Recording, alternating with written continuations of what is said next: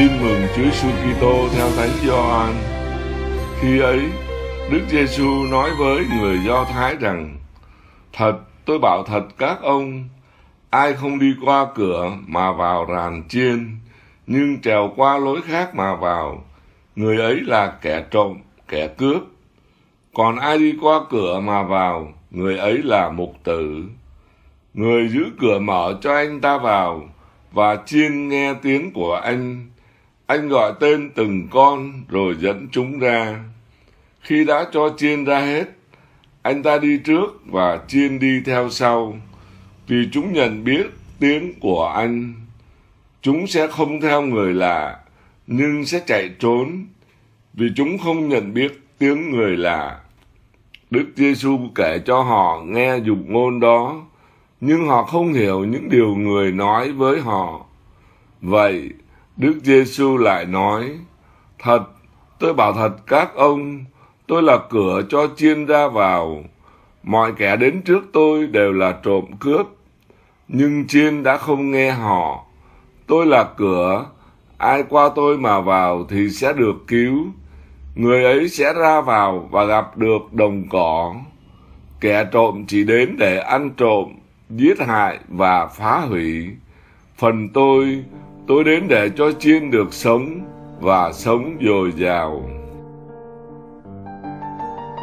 Suy niệm, Hôm nay là Chúa Nhật, Chúa Chiên Lành, Được gọi như thế bởi vì truyền thống phục vụ mỗi Chúa Nhật thứ tư phục sinh đều cho chúng ta đọc bài tin mừng của Gioan, chương 10 nói về vị mục tử nhân lành.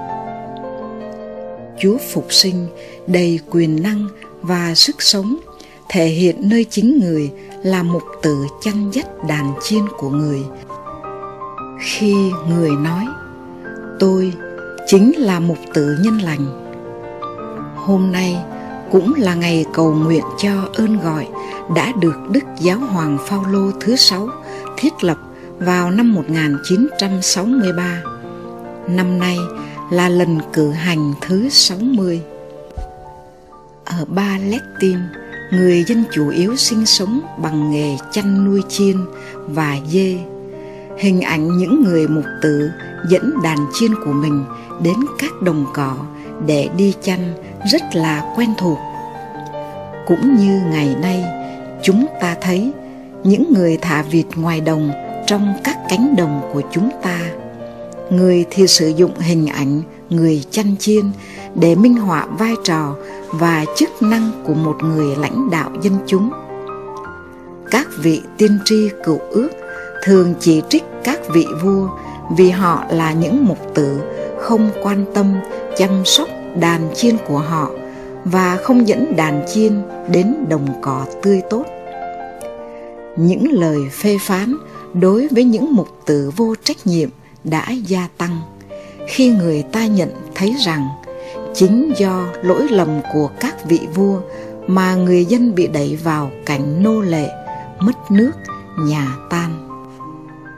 Từ sự thất vọng dân chúng trải qua vì sự lãnh đạo kém cỏi của những mục tử tồi tệ đã nảy sinh ước muốn và hy vọng một ngày nào đó dân sẽ có được một mục tử thật sự tốt lành và chân chính. Giống như một vị thiên chúa, chăn dắt hết thảy mọi người. Do đó, thánh vịnh nói, chúa là mục tử tôi tôi không còn thiếu gì. Các tiên tri đưa ra niềm hy vọng rằng, trong thời gian tương lai, chính thiên chúa sẽ là mục tử chăn dắt đàn chiên của mình. Họ cũng hy vọng rằng vào thời điểm đó, mọi người sẽ có thể nhận ra tiếng của vị mục tử. Ngày hôm nay, ước gì anh em nghe tiếng chúa. Họ hy vọng rằng chúa sẽ đến với tư cách là thẩm phán để xét xử các con chiên trong đàn chiên.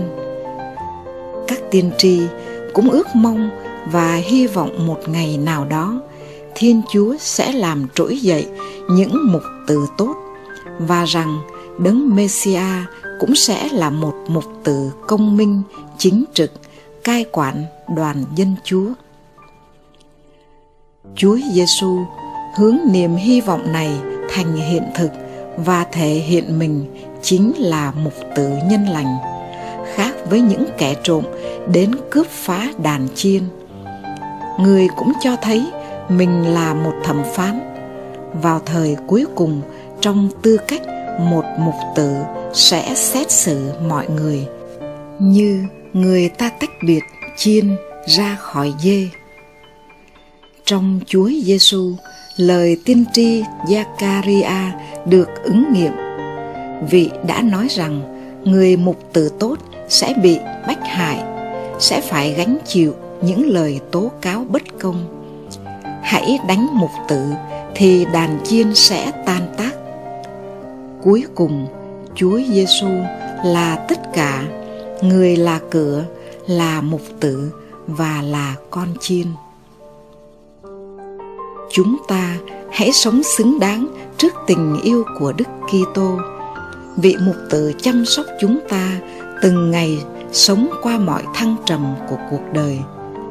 Ngài đã chịu chết và sống lại và đang sống với chúng ta để chăm sóc và yêu thương từng người và mỗi người.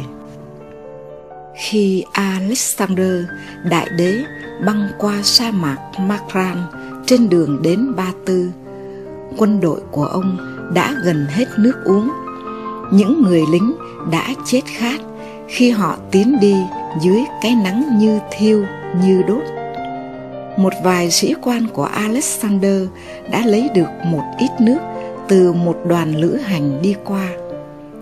Họ mang một ít đến cho ông trong một chiếc mũ sắt.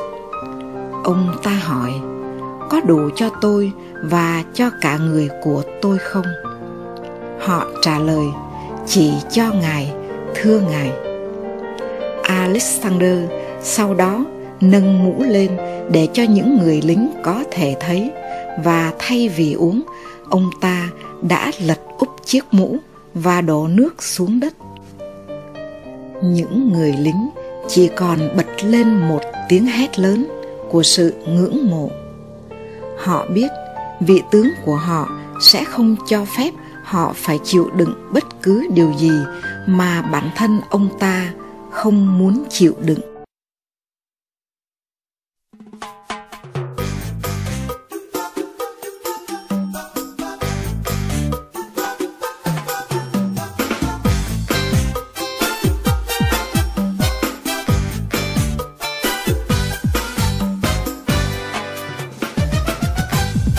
Đồng cỏ xanh êm vui bên suối thơ. Người đưa bước tôi đi như giấc mơ. Niềm yêu thương vô biên tôi có ngờ. Giữa khung trời thơ tôi hát theo đàn tơ. Trời yêu thương mây xanh êm ái trôi. Dòng suối mát reo vui dù khúc nôi tựa quê hương thiên thu tôi tới rồi. Đắm say lòng tôi lời ca dâng chơi vơi chúa bước bên tôi, lòng tôi tràn chứa bao niềm vui. Có chúa dắt đưa tôi, nhịp chân tôi bước trong thành thơi. Dìu tôi đi nơi xa xa lắc lơ đường chân lý say xưa như lối thơ. Và tôi qua bên kia thung lũng mờ có khung trời thơ, tôi hát theo đàn tơ. Người cho tôi muôn câu du thiết tha lòng tôi say reo lên muôn khúc ca. Tình yêu thương thiên thu không xóa nhòa, đắm say lòng tôi lời ca và ngân nga. Có chúa bước bên tôi, lòng tôi chan chứa bao niềm vui có chúa dắt đưa tôi nhịp chân tôi bước trong thành thơi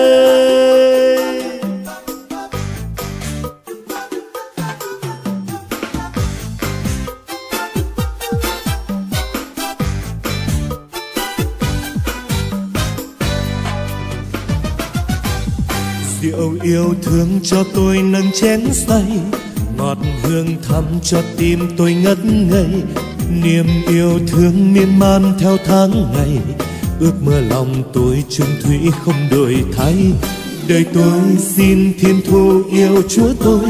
Dù năm tháng trôi xuôi theo lá rơi, nay đôi môi xinh tươi muôn nét cười. Hát theo lòng tôi lời ca dâng chơi vơi có chúa